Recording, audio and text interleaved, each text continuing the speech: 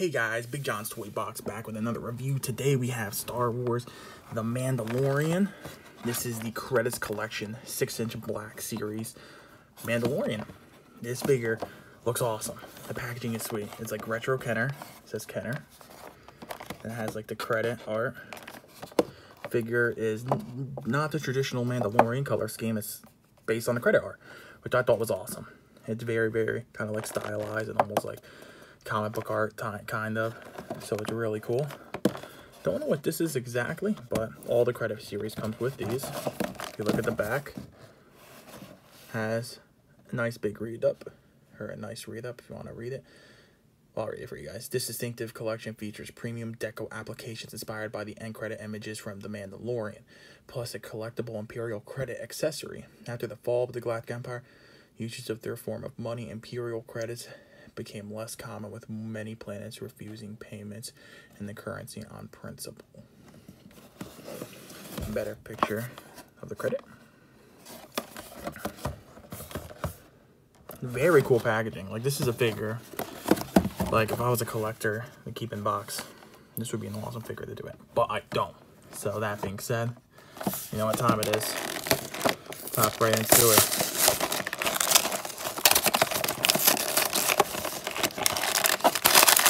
First I want to say, how are you guys doing today? Hope you guys are doing fantastic. As always, I'm doing very, very well. Got some more awesome figures to review, so that is always good. So first, let's just look at this real quick. The Imperial credit. It's cool. It's almost like a chip. Like a poker chip almost. Just it's cool, but I'll be honest, I kind of have no use for it. And the weapons, here we got Mandalorian's pistol. Very nice detail with the brown handle. Very, very cool. Then we got his rifle.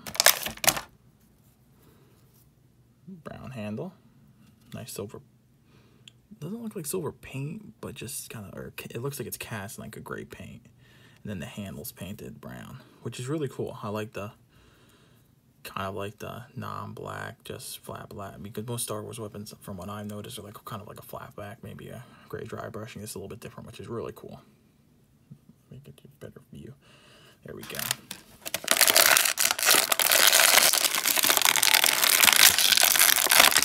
And here we got the figure itself. So, first I want to say I did have the regular Mando at one point. I ended up, um, kind of when I was getting out of the Black Series, sold them off. Then I've been getting back in it.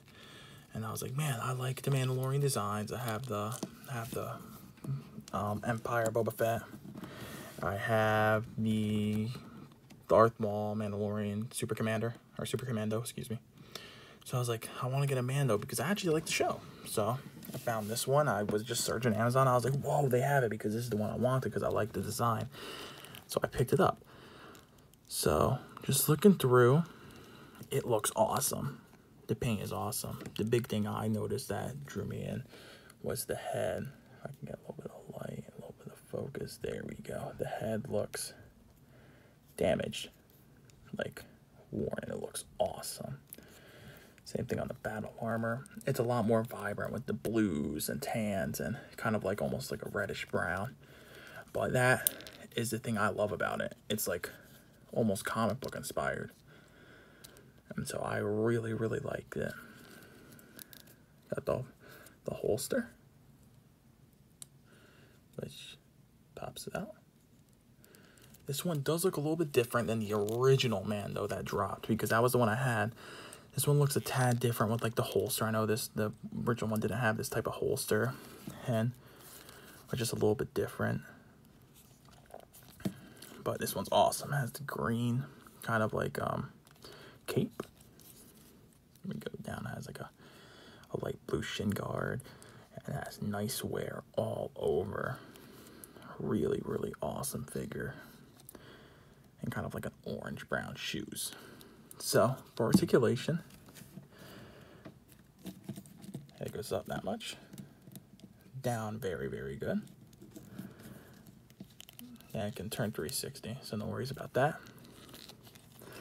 Arms go out, but that's causing the shoulder pad to have to go onto this armor. So watch out for one, paint chipping, and two, if the shoulder pad gets loose and maybe falls off. So I would kind of really not want to do that too, too much.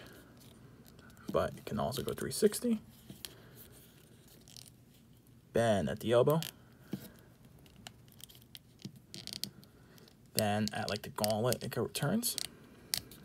Then hand goes down like that, goes up. No forward or back, that's about it. Same articulation on the other hand, except this hand can bend in like that and bend out. Then we have kind of like a ab articulation and go back that much, forward that much. It can go 360, but obviously again hindered from his belt. Or yeah, I guess I would say belt. So then legs go that far out. Watch out for this, the these parts of the belt and this part because they kind of overlap each other. Don't really go back. Double jointed knee, the Hasbro Special. Super, super good. Um, before I miss it, there is a cut at the thigh. No boot cut or anything, but foot up or forward, back, ankle rocker. Look at this crazy good ankle rocker. That's wild. but super, super, super sweet. I think this is a great figure. It's,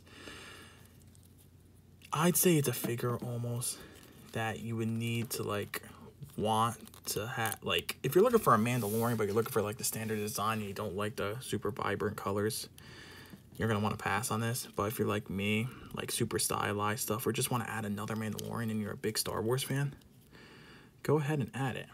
The gun does go into this peg hole in the back. You just gotta line it up. You can see. I'm trying to get in there. But it's it's an awesome figure. Like I think if you you're a big Mandalorian fan, this is a figure that should interest you because it is a a great figure. Um, so overall, I recommend it. It's an Amazon exclusive, so you're not gonna you're gonna have to get it from Amazon. It, from what I heard, it's been a very good selling figure, so it wasn't the easiest. I just happened to stumble upon it. But if you get a chance to get it, it's it's it's truly an awesome figure. I'm not gonna lie to you. It's him kind of like in a bounty hunter esque type of pose.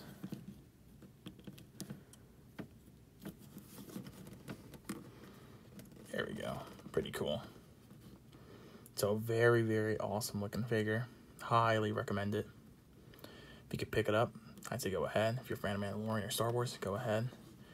It's I just love the paint. Dude, that's what you're paying for. You're paying for if you already have the regular one, you're just paying for a different paint deco, and I think it's worth it. I think it's a awesome figure. Or if you're a mint on card collector, an awesome figure as well.